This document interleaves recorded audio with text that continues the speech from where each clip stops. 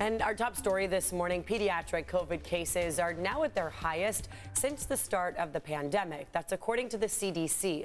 At Rady Children's Hospital here locally, the number of kids being admitted with COVID tripled in the last week. However, that does not tell the whole story here. News 8's Dana Marie McNichol is live now with a closer look at this. Good morning.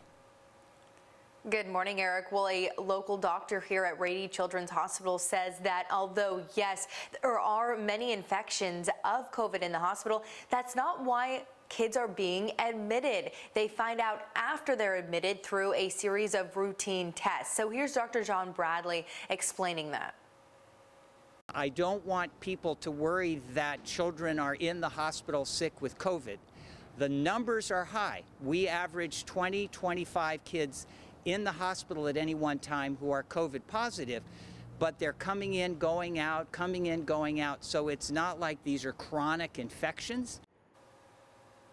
Now, here at Rady Children's Hospital, the number of kids being admitted with COVID tripled in just the last week. Right now, there are 20 kids in the COVID unit and two are in the ICU. But doctors say, fortunately, there have been no child related COVID deaths here, and most of the kids who do have COVID have very mild symptoms. Dr. John Bradley says when most of the children testing positive are coming in for something else per protocol, they're getting tested for COVID, and that's when they discover they they have that as well.